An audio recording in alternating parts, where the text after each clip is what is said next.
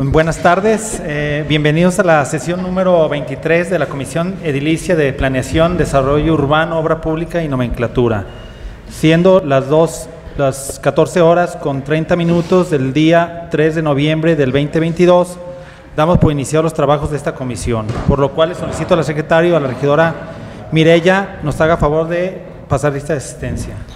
Buenas tardes, con su permiso. Ciudadano José Mario Iñiguez Franco. Ciudadano Arturo Pérez Martínez. Ciudadana Karina González Pérez. Ciudadana Mirella Franco Barba. Presente. Ciudadana María Dolores Aceves González. Presente. Ciudadana Susana Jaime Mercado. Ajá, justificante, al igual que la ciudadana Karina. Ciudadana Rosa Adriana Reynosa Valera. Ciudadano Ramón González González. Ciudadano Rigoberto González Gutiérrez. Ciudadano Óscar Ornelas Martín. Presente.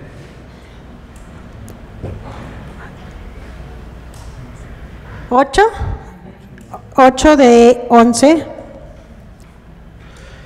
Hay, hay quórum.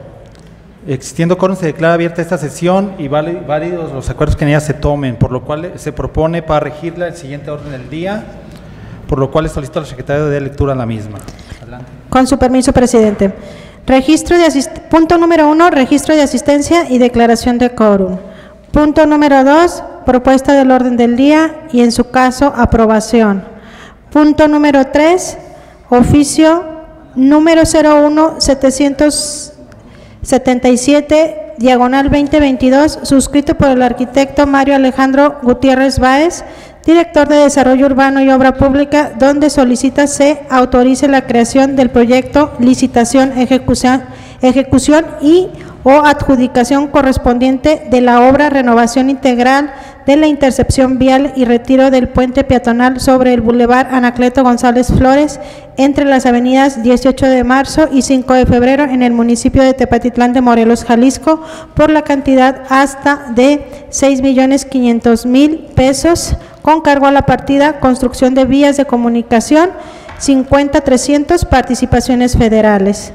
Punto número 4, mediante el oficio número 01778-2022, suscrito por el arquitecto Mario Alejandro Gutiérrez Báez, director de Desarrollo Urbano y Obra Pública, solicita se autorice por parte del ayuntamiento las reglas de operación del programa de obras por cooperación POP. Punto número 5, puntos varios. Punto número 6, clausura. Muchas gracias, secretario. Les pido levantar su mano si están de acuerdo con el contenido del orden del día. Muchas gracias. Se aprueba posición unánime.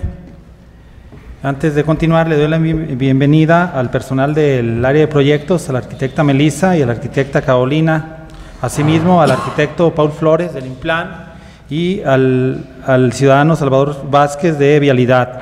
Igualmente al, al arquitecto Mario Alejandro de eh, la Dirección de Desarrollo Urbano y Obras Públicas. Bienvenidos. Pasamos al siguiente punto. Adelante, secretario.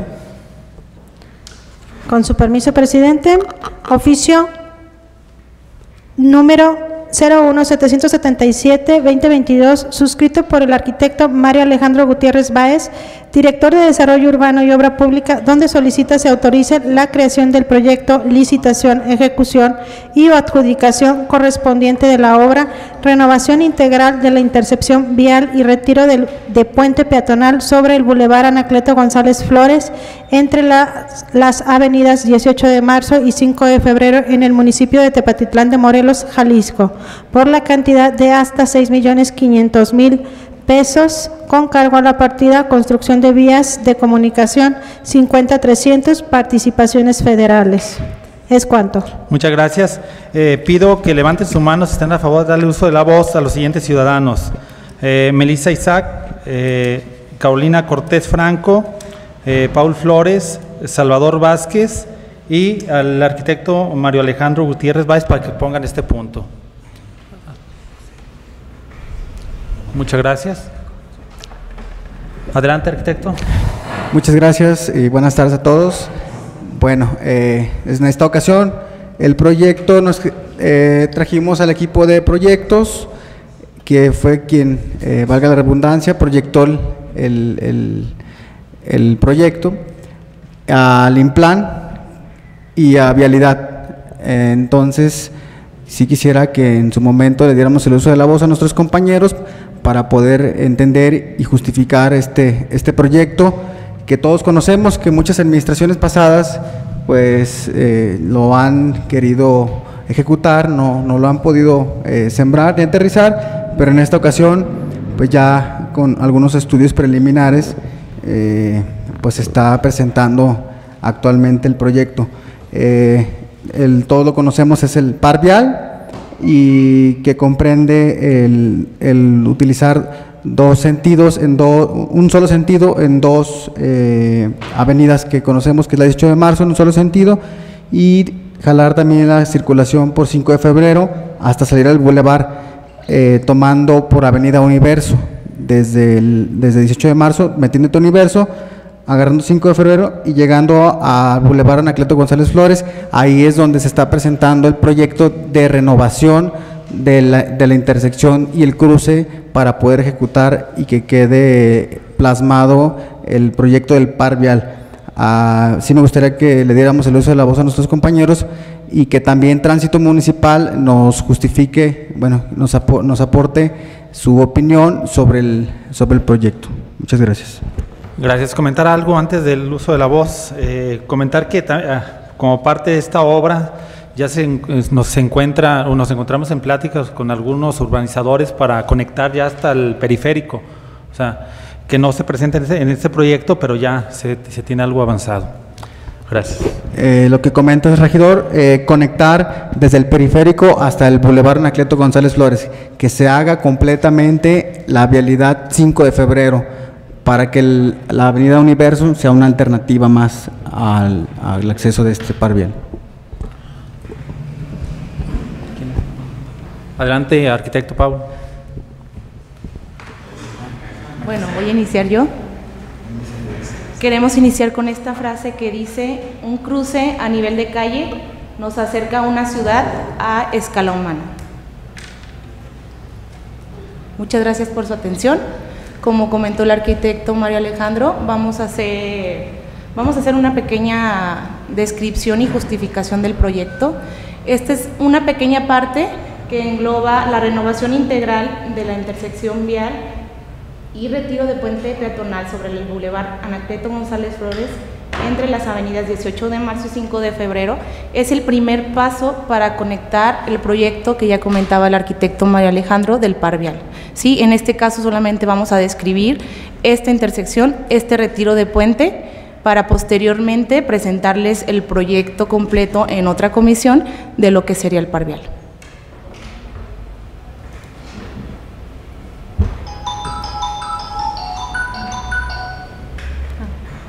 Buenas tardes. Eh, bueno, comenzamos con lo que es el diagnóstico del proyecto. Eh, como ustedes bueno, vieron anteriormente, es la primera etapa de lo que es el proyecto completo del par vial. Eh, vamos a comenzar con lo que es pues la circulación peatonal comprometida. aquí estuvimos haciendo una serie de aforos durante varios días, a diferentes horas del día, para identificar como las principales eh, como puntos de conflicto que hay en el cruce sobre, el, sobre el bulevar. Aquí podemos observar, por ejemplo, el puente, que pues más que peatonal es un poco antipeatonal. Eh, también eh, los obstáculos que podemos, bueno, que vemos que impiden el acceso universal a través de, la, de lo que es el bulevar, o sea, no hay un cruce seguro.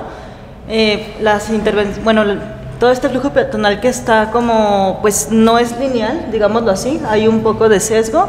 Y bueno, finalmente la, falta de señalética de balizamiento, no hay como, no está claramente marcado el sentido de los autos, de las avenidas, de las calles se conectan y esto dificulta pues que el peatón vaya seguro desde un punto A hasta un punto B, sea cual sea este punto.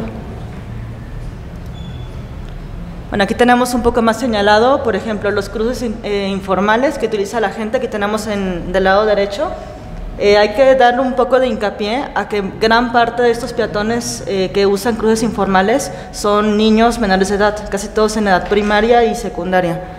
Bueno, los peatones que están todo el tiempo en, riesgo, Eh, pues tenemos un parabús indicado y el puente que de nuevo, pues al momento de estarlo observando, de hablar con las personas o incluso recorrer uno mismo, nos damos cuenta que más que hacerlo peatonal, hacerlo amigable, hacerlo accesible, estamos provocando todo lo contrario.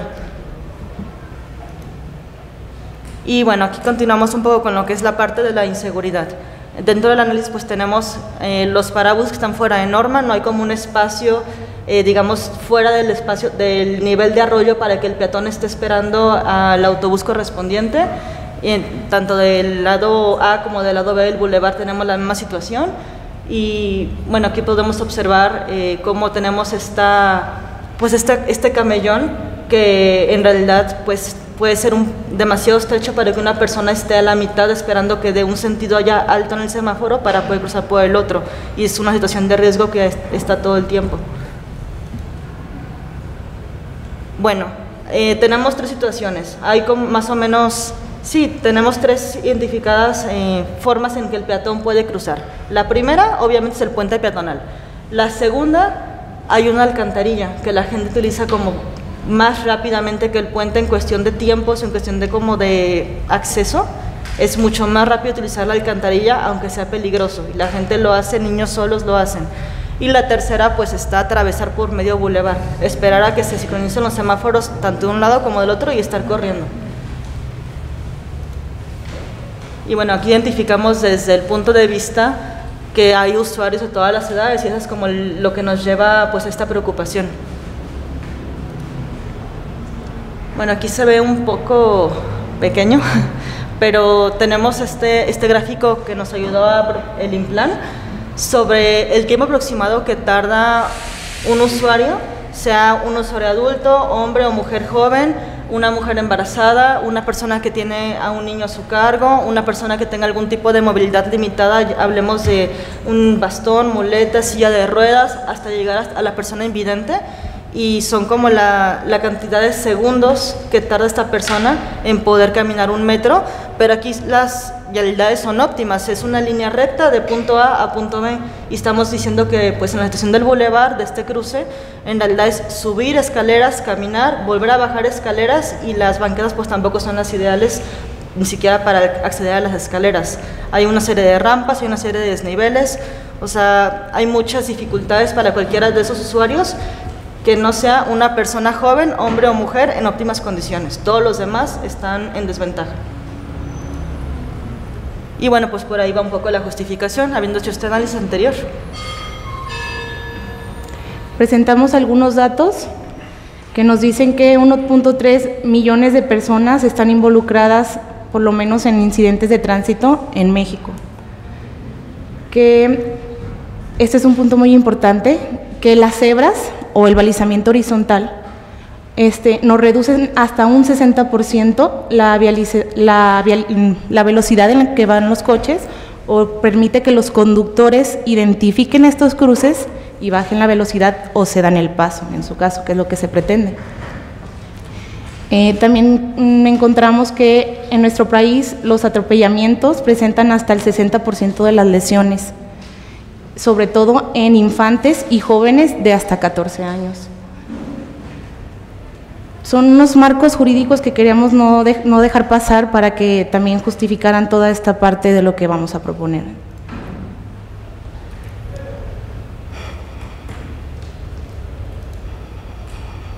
Después pasamos al análisis, que en este punto nos apoyó el IMPLAN. De hecho, estuvimos en coordinación también con Vialidad y a su vez con Astepa, que estamos como involucrados los cuatro en este proyecto. Vamos a pasar al tema de la auditoría del puente antipeatonal, que básicamente esta gráfica se ve representada en este dibujo, que habla de las distancias de cruce de un peatón, cuánto es el ancho de las escaleras, fue ir a medir al sitio y ver cómo tienen que cruzar una persona, como comentaba mi compañera, del punto A al punto B, cuál es el espacio destinado para esto, cuál es el área de desplante del puente que está obstruyendo el área donde debería de haber una banqueta, por ejemplo, los peraltes de los escalones,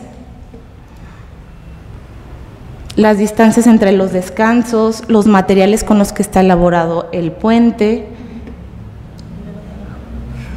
de la longitud. Eh, la longitud caminada, por ejemplo, es esta roja desde de que iniciamos a este punto en las escaleras hasta que cruzamos el puente que va sobre el bulevar al otro punto. Es una distancia de 49.47 metros que se recorren aproximadamente 3.4 segundos, perdón, 34 segundos. Y como comentaba mi compañera, esto sería la velocidad o el tiempo de cruce de un hombre adulto, pero no se está considerando una persona en silla de ruedas, una persona en muletas, que por ejemplo para una persona de silla de ruedas es inaccesible este puente, ¿no? La altura eh, del puente tenemos 2.20 metros lineales, la distancia entre cada descanso es de 2.37 metros y pues que hay un, no existe una rampa, una inexistencia de rampa. Posteriormente se realizaron aforos peatonales.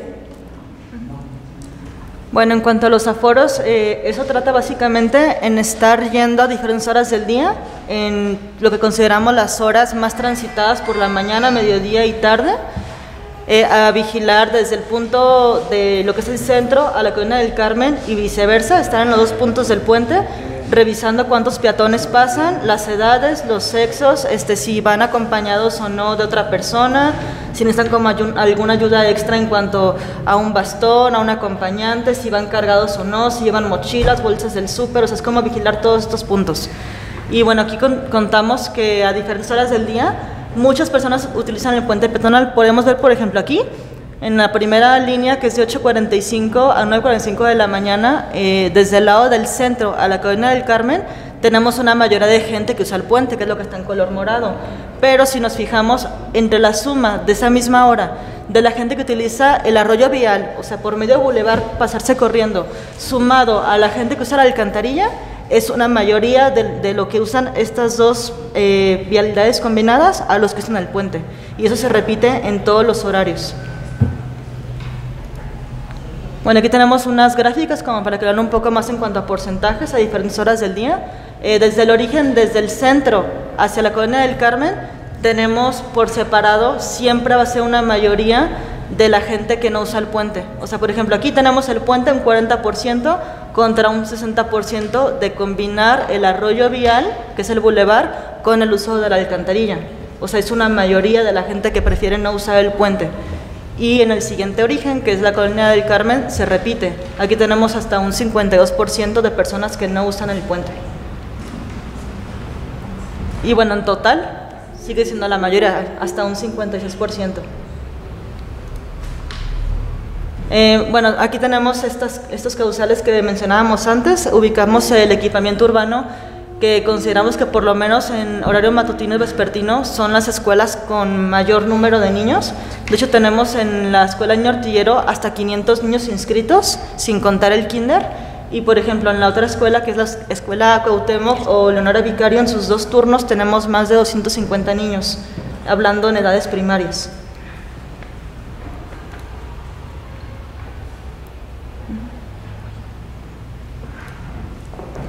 Ah, bueno, esta gráfica con ayuda del implant podemos identificar en un radio de un kilómetro es el círculo lo que abarca en cuanto al diámetro, son 500 metros de, de radio.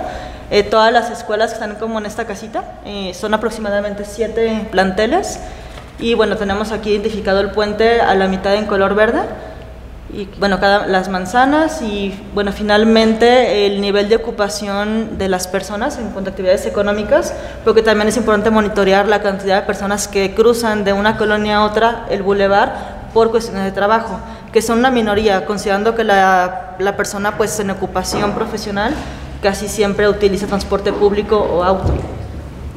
A mí me gustaría invitar al Arquipaul si tiene algo más que agregar en esta parte. Muy bien, pues comentaba, como comentaba la arquitecta Carolina, estos siete escuelas son puntos atractores de viajes y desplazamientos que nos indican el flujo de personas que cruzan por esa vialidad. De hecho, cuando estuvimos ahí realizando los aforos, la mayor parte eran niños, como comentaba Caro, de primaria y edad preescolar, cruzando en el puente, en el arroyo vial y en la alcantarilla.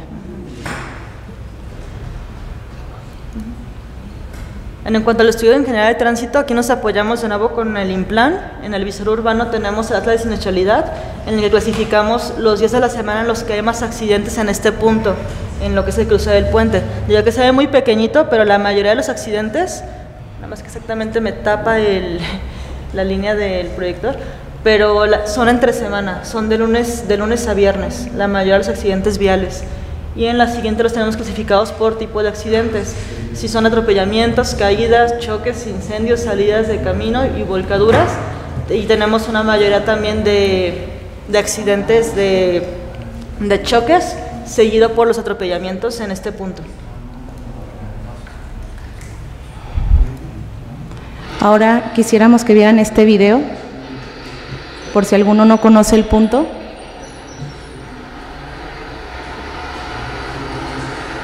Aquí estamos viendo en la parte izquierda personas cruzando a nivel de arroyo, al centro sobre el puente peatonal.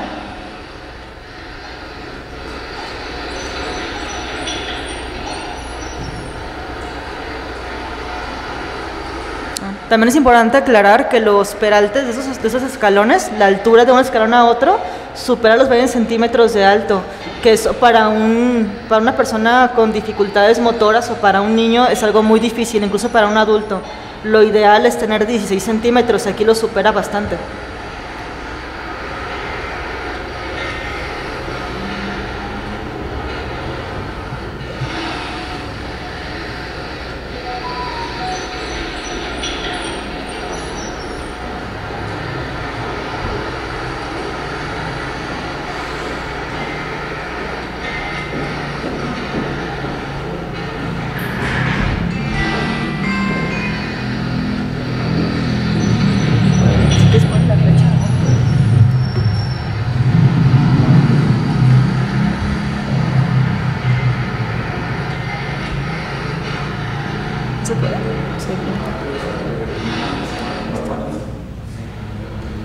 Y este otro video, tenemos aquí el cruce que se hace por el alcantarillado pluvial, el alcantarillado pluvial, para que vean el, el riesgo que, al que se presentan las personas que cruzan por aquí. Y esto obviamente hablando un día en que no ha llovido, ¿no? Sin iluminación, creo que es un punto muy inseguro. Sobre todo cuando corre el agua.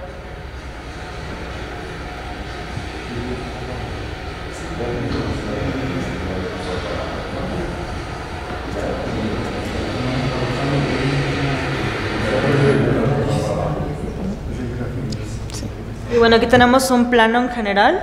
Eh, en el que podemos observar como esos puntos de conflicto, los cruces informales por el alcantarillado, por el nivel del bulevar, pues que no hay unas banquetas de acordes dentro de, o sea, fuera de, esta, de estas dos líneas de cruce del puente donde se está desplantando, un poco hacia la derecha o hacia la izquierda no tenemos estas banquetas seguras tampoco. Y bueno, el puente que más que peatonal lo consideramos que es algo antipeatonal y pues los obstáculos que impiden el acceso universal en caso de que la persona decidiera cruzar a nivel del arroyo que es el bulevar, o sea que tampoco es lo ideal. Y bueno, así se encuentra actualmente. En la línea de color azul podemos ver eh, la línea pluvial, que es la representación de la alcantarilla que ciertas personas utilizan, eh, la altura del puente y el desnivel de pues este cruce informal que utiliza la gente a través del bulevar, que tienen que pues también estar sorteando los autos, los, los, los carros quedan un poco más pesados, transporte público, entre otros. Aquí vemos algunos indicadores de un cruce seguro ya plasmados en nuestra propuesta arquitectónica que habla de señalética de paso peatonal, reductores de velocidad, formalización de líneas de deseo peatonal, semáforo peatonal, rampas de no máximo del 6%, cebras peatonales o balizamiento horizontal, piso podotáctil y volardos.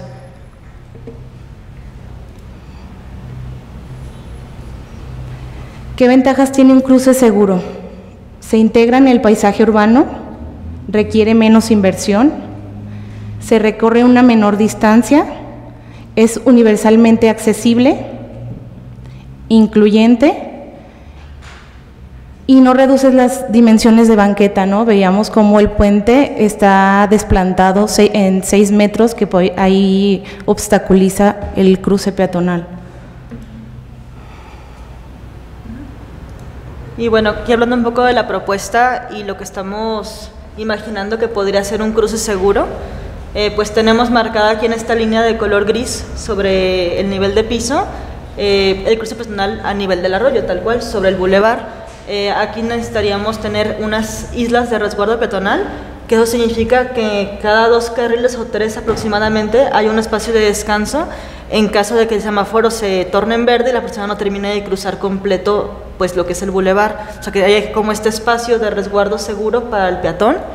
Eh, también, bueno, proponemos el retiro del puente antipeatonal de hacer un carril de incorporación para que los autos tengan como un mejor manejo de integración entre las vialidades eh, eh, de los lados contra el bulevar y bueno, la banqueta, completar la banqueta entre lo que es la Nicolás Bravo y la 5 de febrero de los dos lados para pues conectar estas calles y finalmente pues cambiar un poco esta área jardinada para que nos ayude a como hacer este resguardo y guía para las laterales de los autos.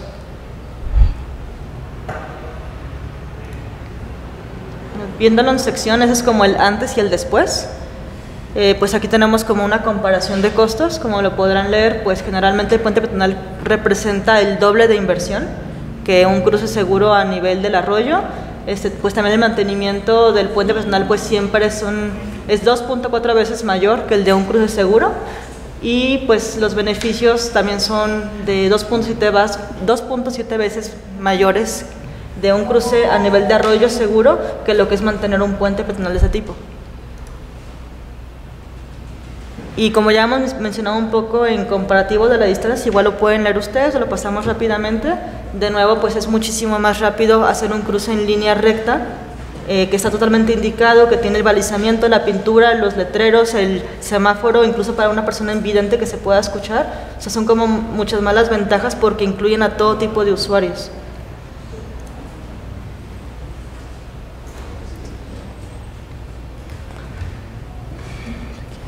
Bueno, eh, en cuanto a las conclusiones, pues es un poco lo que ya hemos dicho anteriormente, pues la inaccesibilidad es la principal razón por la que los usuarios eligen hacer uso de cruces alternos, informales y peligrosos, en lugar de cruzar por el puente peatonal existente.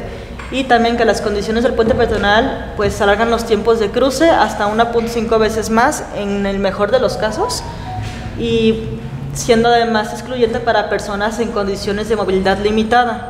O sea que es un poco lo que ya venimos estudiando para esta propuesta. Y, arquitecto, ¿quieres cerrar? Entonces, por nuestra parte sería todo. No sé si hay alguna duda. Adelante, regidor. Bien, gracias. Bueno, yo creo que es un proyecto bien elaborado y todo. A mí no me convence en lo general, digo, eso no quiere decir que no esté bien elaborado, ¿eh? bien planeado. No me convence como para resolver un problema. Cuando se hizo el bulevar, se dejó esa alcantarilla eh, pensando en que era un paso peatonal, porque se creía que en ese momento iba a resolver el problema.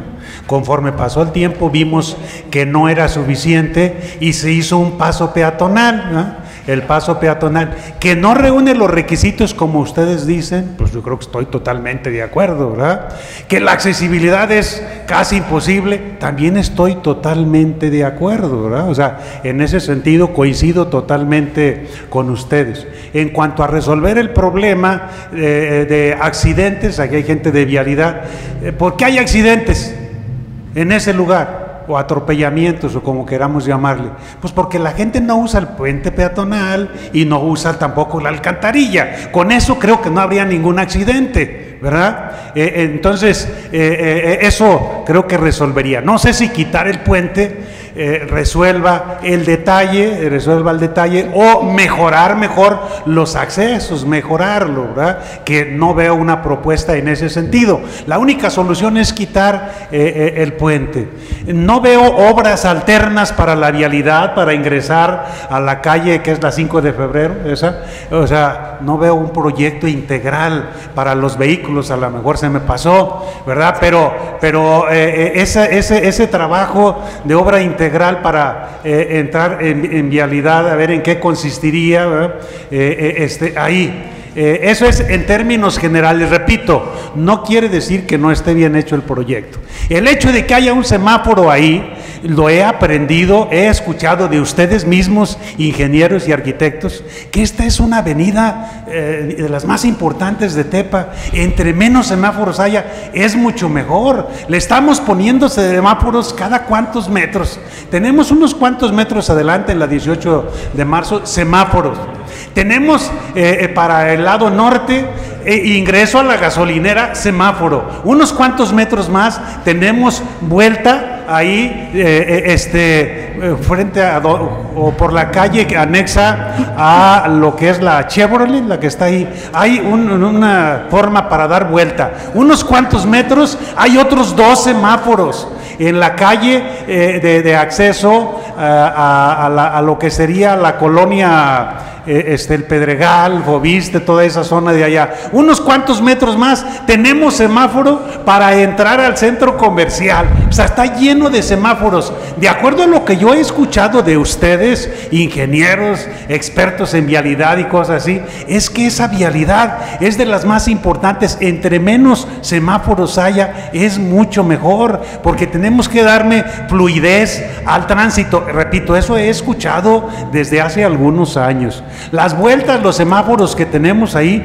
están en condiciones pésimas. Eh, el, camellón a veces es solamente un machuelo y a veces se amplía, a veces, o sea, lo que hace falta es planeación en ese sentido. Creo que esto pues no sé, a lo mejor es un mejoralito, pero no creo que resuelva en gran parte, ¿verdad? En gran parte el problema eh, que tenemos. Lo único que puede hacer es a lo mejor el acceso para los vehículos para la 18 de marzo e integrarlo, pero creo que le hace falta algo más. Se me hace un disparate, 6 millones y medio para una cosa de estas, digo, a lo mejor vale más, ¿no? Pero a mí se me hace un disparate, 6 millones y medio para hacer una entradita a la, a la, a la calle 5 eh, de febrero o mover el paso peatonal. Repito, en su momento se creyó que eso era lo más adecuado. Hoy en día, si nos basamos a normas internacionales, que aquí hicieron referencias algunas y yo siempre las he criticado, hay que ver qué es lo que Tepatitlán necesita, ¿verdad? Desde luego tomar en cuenta eso, pero a ver qué se puede aplicar a Tepatitlán, esas normas internacionales. Si las vamos a aplicar, esa avenida yo la he caminado a pie, desde donde inicia, básicamente desde casi desde los sauces hasta las aguilillas, y la verdad es pésimo eh, las banquetas que tiene, el acceso para vehículos. Entonces, requiere una operación mayor, repito, si esto va a resolver la zona ahí, qué bueno, tengo mis dudas. Porque si es nada más un semáforo más, lo único que va a hacer es entorpecer más el tráfico como en algunos otros lugares. En términos generales, pues es un, un comentario que, repito, los expertos saben de esto. Yo, de acuerdo con mi punto de vista, creo que no cumple ni siquiera con los estándares internacionales a los que ustedes hacen referencia este movimiento que se quiere hacer ahí. Adelante, arquitecto. Muchas gracias, regidor. Yo comparto eh, una opinión que siempre el compañero Paul dice, piensa global, actúa eh, local. Entonces, sí, las necesidades del municipio eh, son las que nos está requiriendo los proyectos actuales y como parte aguas, esto puede tomarse como un auge para la, remodelación del, del bulevar hacia el norte o hacia el sur. Y sí, el proyecto, eh, bueno, no lo mencionaron, eh, sí contempla carriles de aceleración que se, que se incorporan para incorporarse los vehículos al bulevar, no directamente a los carriles centrales. Y lo- la propuesta es, por eso invitamos a, a tránsito, que 5 de febrero solamente sea un solo sentido, que desemboque hacia el, hacia el bulevar Anacleto, no den vuelta los vehículos hacia arriba, porque si no vamos a tener ahí sí el conflicto vial nuevamente. Si me permiten, eh, el objetivo principal de este proyecto es darle esa priorización al peatón. Como usted bien comenta, hay unos semáforos muy cercanos, pero creo que como automovilistas no nos cuesta nada eh, poner el pie en el freno y en el acelerador, que es lo que se está solicitando aquí, para así darle prioridad al peatón. El tema de la alcantarilla, a lo que yo tengo entendido por parte de Astepa, la finalidad principal era esa alcantarilla pluvial, que después se hizo una intervención y se hicieron estos escalones porque se vio que la gente cruzaba por ahí, ¿sí? Pero no fue la finalidad hacer un paso peatonal. Creo que fue como al revés, ¿no? Se vio que pasaba gente, entonces ya lo medio adecuó, porque sí es muy riesgoso para el peatón. En cuanto a lo que comentaba de los carriles, sí, efectivamente tenemos dos carriles de incorporación. Eh, 5 de febrero es un solo sentido, como comentaba el arquitecto Mario Alejandro. Tenemos un carril de incorporación ahí hacia el bulevar y hubo un cambio de sección de un carril de incorporación de cuando vienes, digamos, de los sauces hacia el centro por Nicolás Bravo, que sería este punto. Esto cambió, la sección cambió para darle pie a, esta área jardinada y para que los coches que vienen aquí en Nicolás Bravo, que también se va a convertir en un solo sentido, no se incorporen al bulevar. Además de que mm, se creó, se propuso una boca de tormenta en esta parte de 5 de febrero, antes del cruce peatonal a nivel de arroyo, ya que por esta calle cruza muchísima agua o corre mucha agua y ha habido incidentes con, niños con niños aguas abajo en la calle Nicolás Bravo, por lo que se hizo un alcantarillo pluvial, una alcantarilla pluvial que conecta esta parte al río, que creo que es mm, de vital importancia. Gracias. Adelante, regidor. Sí, buenas tardes compañeros, buenas tardes, con su permiso presidente. Yo considero que es una, una muy buena obra, muy necesaria para Tepatitlán, que primero pues es la primera, es de alguna manera el inicio de un gran proyecto que es lo del par vial, eh, ya que es parte de, de incluso hasta lo de la Universidad de la Mario, de la Mario Molina, porque todo lo de la 5 de febrero se va, a canalizarse en un solo sentido y la 18 de marzo lo mismo. Aparte esa zona es una zona muy deprimida, muy deplorable, está en muy malas condiciones y yo creo que eso va a ayudar mucho también para que se detone el desarrollo de esa, de esa área. Yo la conozco a la perfección, son parte de mis barrios donde yo crecí y yo creo que se va a desahogar mucho también el tráfico a través de la Nicolás Bravo y al tener la opción es una, es una vialidad que actualmente no se utiliza por las condiciones en las que se encuentra, pero ya con esta eh, intervención pues va a dar otra, otra alternativa para la movilidad de toda esa zona. Entonces, enhorabuena, lo del puente peatonal que existía, pues realmente yo creo que nunca se, se utilizó eh, para ese fin. Eh, fue una obra, hay que reconocerlo, una obra pues eh, mal hecha, se puede, se puede decir y aceptar. Y pues lo del túnel que se tenía, pues se utilizó porque no había otras alternativas ¿verdad? en su momento, pero pues ya no tiene razón de ser. Ahora con esto se le da prioridad al, al peatón, a toda la gente que, que cruza ese, esa avenida y que va a ser de gran beneficio para Tepatlán. Enhorabuena y qué bueno que se hagan ese tipo de proyectos en beneficio de, de Tepatitlán. Es cuanto. Gracias. ¿Algún otro comentario? Adelante, regidora. Muchas gracias, presidente de la comisión. Solamente preguntar, eh, ¿el puente lo van a desechar? ¿Lo van a volver a utilizar? ¿O qué será de él? Se está considerando con recuperación para el municipio. Creo que ya hemos visto algunos ejemplos, por ejemplo, en el circuito, donde colocaron un puente para cruce del río. Sí se va a recuperar y se va a reutilizar. Gracias. ¿Algún otro comentario? Pablo, adelante. Muchas gracias, buenas tardes. Nada más para intentar complementar un poquito el proyecto que acaban de presentar las compañeras. Aunque inicialmente pareciera que el proyecto viene, digamos, a, a interrumpir el flujo vehicular, creo que es un proyecto muy bond- bondadoso porque contribuye a todos los modos de movilidad, no nada más a la movilidad sustentable al peatón, sino también a los propios vehículos. El proyecto como se presenta ahorita pues parece que tiene un enfoque de pacificación del tránsito para disminuir las velocidades y efectivamente así es para los entronques, digamos que llegan con el boulevard. Pero es un proyecto mucho más amplio, o sea, lo que se está presentando ahora es nada más una pequeña parte de un proyecto mucho más amplio que es el par vial, que era como lo que inicialmente comentaba la arquitecta Melisa. El objetivo del par vial es darle más fluidez a, la- a- a los vehículos. O sea, es una zona, como ya lo comentaron, con mucho desarrollo. Tepatitlán está creciendo hacia ese lado, va a, va a crecer más. Entonces se necesita un proyecto de optimización de la movilidad. Así como el, el Boulevard Anacleto también necesita un proyecto de optimización. Ustedes pueden observar algunos semáforos que sus fases semafóricas son inútiles, por así decirlo. O sea, hay partes donde tú te detienes y nadie más está cruzando. O sea, lo que tenemos que hacer es un proyecto de, de optimización, un proyecto integral del boulevard y un proyecto integral del par vial.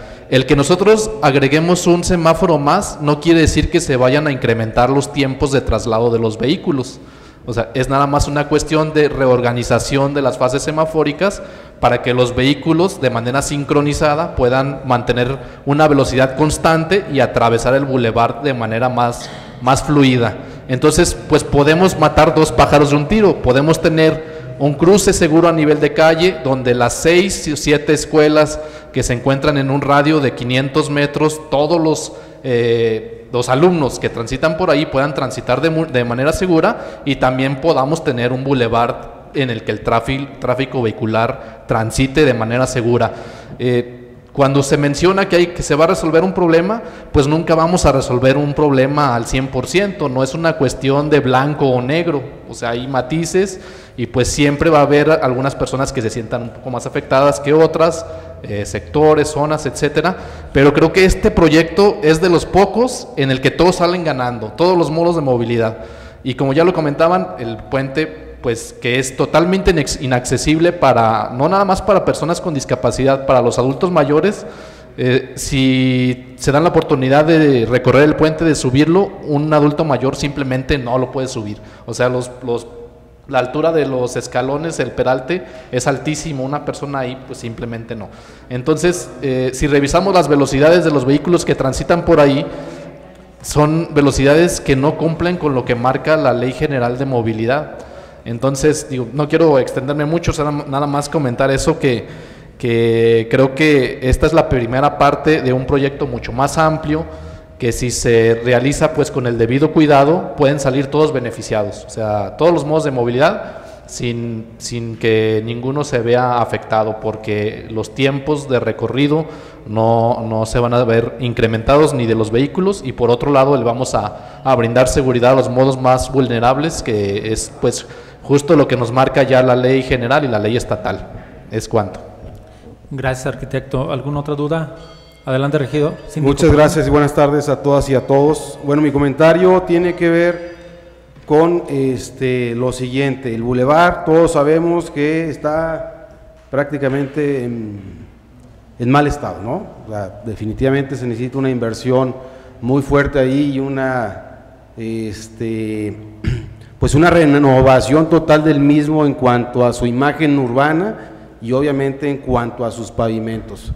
Sí coincido con, con el regidor Ramón en el sentido de, va a haber muchos semáforos ya, de hecho es un tramo de un kilómetro y vamos a tener cinco semáforos. Ojalá y, y ahí pongan atención en la sincronización de lo mismo. Yo platicando en particular con algunos regidores y con el presidente les decía que, que si este proyecto es para que la 18 de marzo se convierta en un solo sentido hacia a la salida San José de Gracia y la 5 de febrero hacia abajo, hacia el bulevar, a todo. Y espero que sea pronto eso. Ya no tanto por el Instituto Tecnológico Mario Molina que ayer le pusieron la primera piedra, sino porque ya es una necesidad la que existe en ese punto. Y cuidar por favor, el tema de los peatones. Eh, no sé si van a poner, o no, no si lo dijeron, no lo escuché, eh, semáforos peatonales, Así que es. tenemos un pendiente ahí en Ricardo Alcalá y Matamoros todavía con esos semáforos. Y también preguntar si esto está en el Plan Integral de Movilidad Urma- Urbana Sustentable. Porque si es así, que bueno, no, porque el chiste es que ese documento que nos costó buena lana, pues esté aplicando. Entonces, nada más y no, no ol- olvidar esos temas. Muchas gracias. Gracias. Sí, para complementar, perdón, un poquito, eh, eh, el crucero, la intersección de 18 de marzo es una de las más conflictivas del municipio, con una de la mayor cantidad de hechos de tránsito, de siniestros de tránsito. ¿Por qué? Porque tiene una densidad de vehículos, una cantidad de vehículos ya eh, muy grande, más de la que debería de, de tener pues la vialidad. Entonces, el propósito del proyecto macro del, proyecto completo, del proyecto integral, es precisamente lo que comenta el síndico. O sea, que una vialidad tenga un sentido y que la otra vialidad tenga otro sentido, precisamente para darle fluidez a todo el tránsito vehicular de toda esa zona. Entonces, eh, digo, por eso era por lo que yo comentaba que es un proyecto muy noble en el sentido de que todos los modos de movilidad se ven beneficiados y se cuidan los detalles. Gracias. Adelante, regidor. Bueno, oh, de nuevo, yo, no dudo en ustedes, creo que es un buen proyecto. Eh, este, reitero, creo que no resuelve el problema.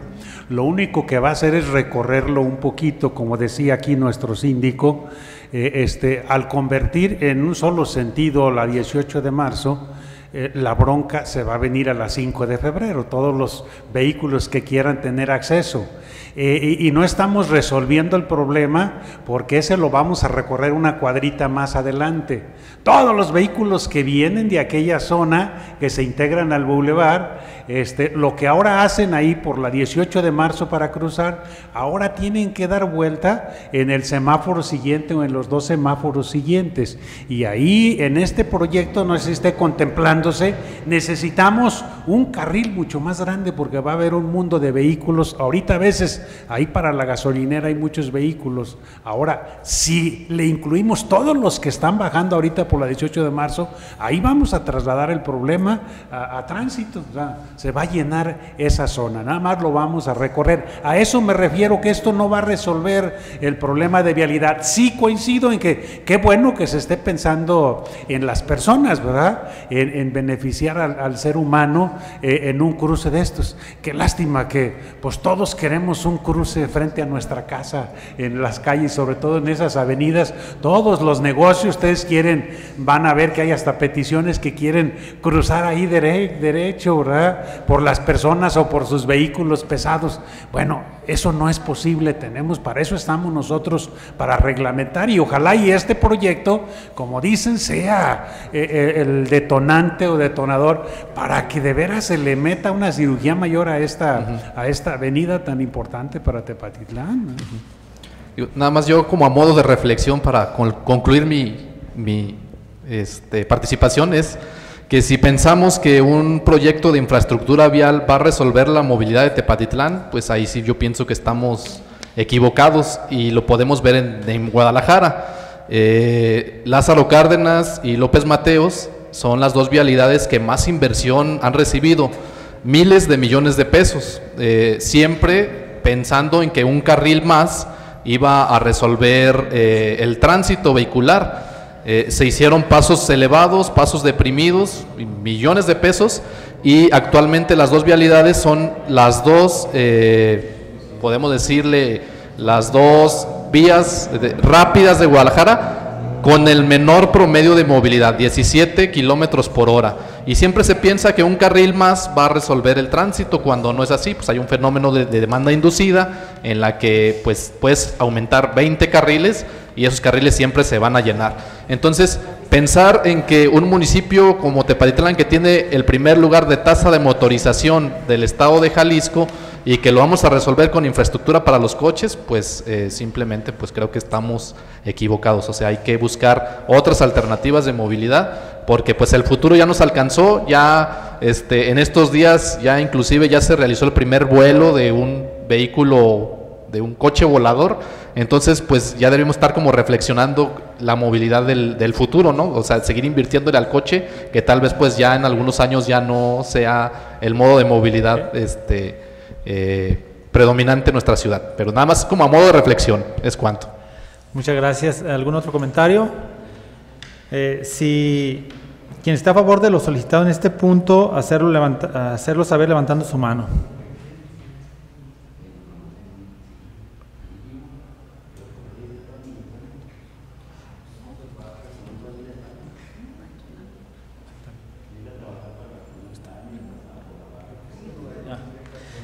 Quien esté en contra, quien se abstenga.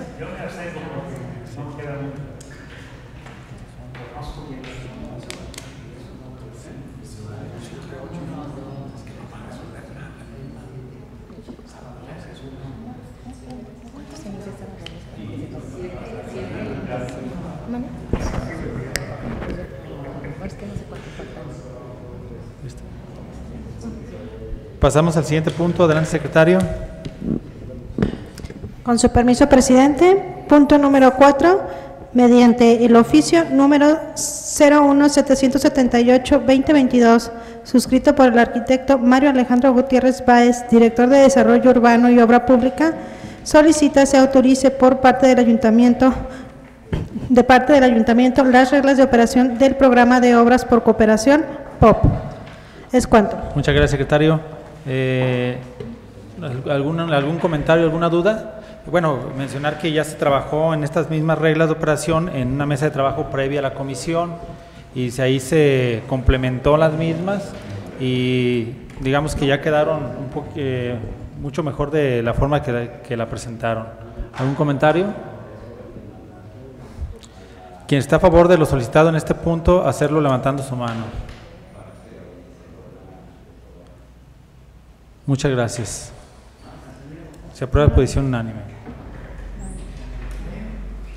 Pasamos al siguiente punto. Adelante, secretario.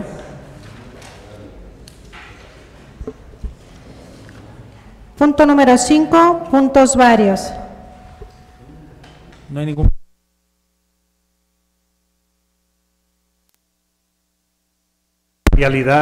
Aprovechando que están aquí.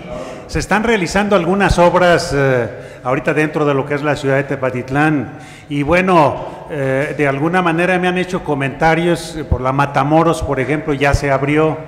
Me han pedido que ojalá y en este tiempo, pues eh, a ver si no funciona el semáforo, ¿verdad? Porque entorpece la, la, la fluidez del vehículo, sobre todo ahorita que están, eh, eh, este, si ya no están funcionando, pues qué bueno, es lo que me habían comentado. Y eh, también la calle, la calle que da a la puerta principal de la Unidad Deportiva Morelos, una calle ahí que cierra en la, en la avenida, también que, eh, digo, se, va a utilizar a fuerzas de doble sentido, que lo contemplen, porque pues si tiene flechas para un lado al rato los vehículos, ¿qué van a hacer? No, ahí se requiere que esté en doble sentido. Y eh, la mayor parte de vehículos que subía por la Matamoros, hoy está subiendo por la calle Manuel Altamirano. Entonces, ahí en Manuel Altamirano, en el cruce con, eh, por ejemplo, Caro Galindo, eh, es de mucho tráfico. Si se pudiera poner a lo mejor uno y uno, regular un poquito los cruces ahí, porque si hay mucho vehículo que baja por la Caro Galindo y ahorita que está subiendo por la Manuel Altamirano. Prever ese tipo de detalles un poquito para que haya fluidez y evitar algunos accidentes. Gracias. Eh, agregar el punto que ya platiqué con el comisario, pero también para comentarlo, a ver si se puede poner señalamiento, la plazoleta donde estaba el, el centro de salud, parece estacionamiento público hoy, hoy, ayer, antier, todos los días, ya parece estacionamiento público, están todos los carros encima estacionados, digo, porque al rato se va a hacer una costumbre y van a querer que ahí haya estacionamiento, ahí no es para estacionarse, punto. Y si se estacionan, pues yo le digo, aplicar el reglamento, vámonos. Totalmente de acuerdo. De hecho, hay una lona que dice no estacionarse, pero parece, parece ser que esas lonas son imanes. Y sí, es aplicar la multa, no es estacionamiento. Sí, este, perdón. Gracias. Eh, Bueno, ya lo mencionó este el síndico referente a lo del semáforo de Matamoros, ya se desconectó desde el viernes, lo pusimos en intermitentes precisamente por ese tema de de la del, no, perdón, el martes, para el tema de haya una mejor movilidad. Entonces ya se va a cerrar en esta semana, se cierra en su totalidad la Matamoros. Este, y, y sí, efectivamente, ahorita tenemos mucho, mucho tráfico por el, por el lado de, de Manuel Altamirano, Manuel Altamirano, y sí, este, vamos a tratar de tener un poquito más de, de señalética. Este, aquí les, eh, a ver si obras públicas, eh, Mario, con las empresas que están construyendo, nos apoyan, ellos son los responsables de, de señalizar las obras y no hay ninguna empresa está señalizando sus obras, no tienen lona ni información de nada, ¿verdad? Entonces, es una responsabilidad directamente que nos la señalicen con las lonas, este, y nosotros les decimos el requerimiento que se necesita, pero sí para que nos apoyen también, este, y pondremos más, más. De acá de la plazoleta, este, me encargo hoy mismo, sí, incluso hace rato que lo subió el regidor, hicimos infraccionadero, pero pues parece que los quitamos y salen unos y llegan otros, salen unos y llegan otros. Pero voy a tener por ahí un elemento muy, a- muy al pendiente en ese punto específicamente, ya a partir de hoy, con mucho gusto. Igual nomás comentar sobre la plazoleta que ya se van a, a iniciar los trabajos otra vez. Están a punto, están en unos trámites administrativos, tengo entendido, firmas de contrato y es lo que están esperando para, para arrancar. ¿Sí? ¿Algún otro punto? Adelante. Respecto eh, al tema de la plazoleta, sí me gustaría, digo, ya que se tocó el tema, que le den seguimiento porque no, na- no se han aparecido para... Una vez que cambiamos, hace 15 días, días. el tema de que no era una SADCB, sino una SA, ya no he vuelto a saber nada de ellos. Gracias. ¿Algún otro comentario? Adelante. Gracias. Un arquitecto. comentario rápido, nada más para eh, eh, comentar de lo del tema que se abordó hace un rato, el regidor Francisco, del tema de los datos. Eh, comentarles que eh, en conjunto aquí con Policía Vial y Obras Públicas estamos realizando un diagnóstico situacional de la malla vial. Entonces, este diagnóstico es un estudio, un análisis de todas las calles de Tepatitlán, cuadra por cuadra, en las cuales se hizo ya un barrido en campo del estado actual del pavimento, qué tipo de pavimento tiene, y pues eh, estamos integrando un mapa en un sistema de información geográfica con atributos y con variables ponderadas para poder definir la priorización, la prioridad sobre la rehabilitación de las calles cuáles calles se tienen que intervenir en el corto plazo este, con mayor prioridad y qué tipo de intervención es la que se requiere. Entonces, la siguiente semana estaremos terminando ese trabajo que estamos haciendo en conjunto con Obra Pública, Policía Vial y con apoyo de prestadores de servicio social sin invertir ni un solo peso del erario público. Es cuanto. Muchas gracias. Eh, pasamos al siguiente punto. Adelante, ¿Regidor? secretario. Ah, Ah, adelante. referente, perdón, a lo que dice el arquitecto, efectivamente se, se realizó un recorrido, un barrido por todo, por toda la ciudad. Faltan las delegaciones, donde se hizo un levantamiento cuadra por cuadra del tipo de piso de rodamiento que tiene, si es empedrado, si es asfalto, si es concreto, y el daño que tiene, para eh, saber si eh, necesita una intervención este, integral, necesita únicamente bacheo, necesita este, eh, cambio de losas únicamente, o del calafateo, sabemos que eso es integral en todo el municipio, ¿verdad? Pero este, ya se está, ahorita lo está capturando este, por parte de los prestadores de servicio y se va a tener un diagnóstico ahora sí completito para que se tomen las decisiones. Esta es prioritaria, esa no, esa sí, en base a ese estudio, si son vialidades primarias, si son este, eh, calles, este, avenidas, si son calles, si son hacia centros educativos, si son hacia templos, si son los ingresos a los fraccionamientos y de lo más grande a lo pequeño a las demás vialidades. Pero ya se, calle por calle en todo el municipio, perdón, en toda la cabecera municipal ya se hizo levantamiento. Faltan las delegaciones que estaremos iniciando, yo creo, pasando la siguiente semana, ya que se nos vinieron varias festividades. ¿Algún otro comentario? Gracias. Eh, pasamos al siguiente punto. Adelante, secretario. Punto número 6, clausura. Gracias. Siendo las 3 de la 3.29 horas, las 3 de la tarde con 29 minutos del día 3 de noviembre del 2022 damos por terminados los trabajos de esta comisión. Muchas gracias, nos vemos un rato más.